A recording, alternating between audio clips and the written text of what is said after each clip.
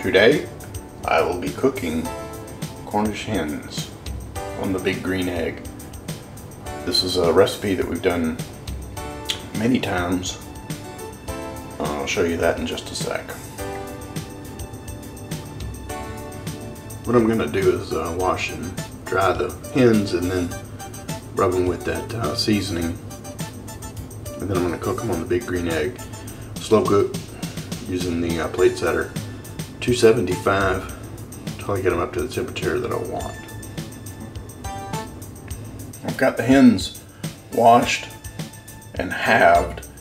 Um, one of the, I think, important things with this recipe is getting, I think with any Cornish hen recipe, is to get them as dry as you can so that the rub will uh, kind of take a little better. So I got them washed and thoroughly dried.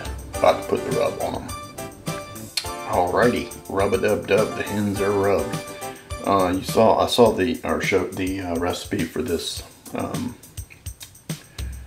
Cornish hens earlier, and do recommend that you quadruple the rub, and if you like a lot of spice, as we do.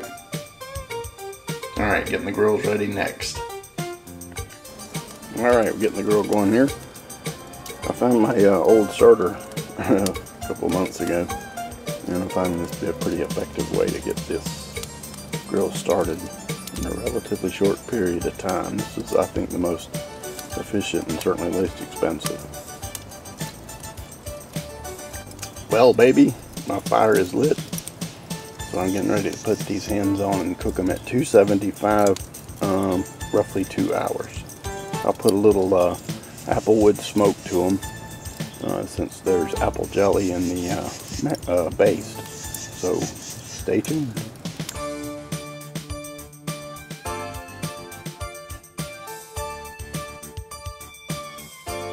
Alright, the hens been on for about mm, 35-40 minutes. I got the temperature where I want it, and they're going to do it for about two hours.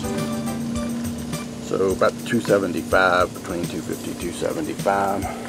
That's what the daisy wheel looks like. And that's what the bottom vent looks like.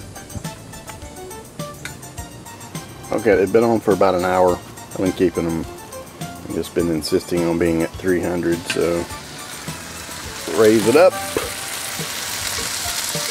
and flip them over. Okay, this is the um, hens from the top rack when I was doing the double rack. These guys got done pretty quickly, so I went ahead and basted them. I'm going to put the uh, ones that were on the bottom on the uh, rack and uh, baste them too. So we're getting there. Okay, the ones on the plate were on the top rack. They cooked a little bit faster, so they're going to come up. I'm going to wrap them in tin foil, wrap them in a towel, and put them in a, a cooler. That was one of the uh, recommended um, steps to do with these. The ones on the grill, I just basted them and I'll flip them over and baste them again too. I decided to fry some okra, but not on the big green egg. And here we go.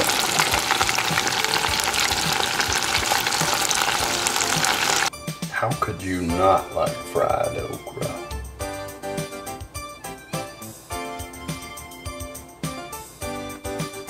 And here we go, with the finished product. Bon appetit.